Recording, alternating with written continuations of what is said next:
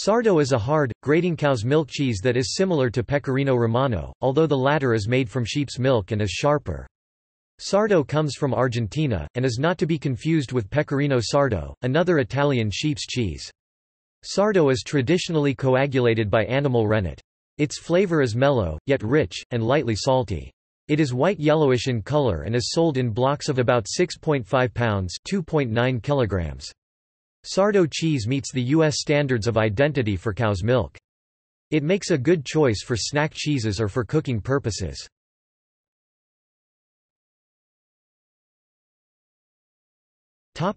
See also List of cheeses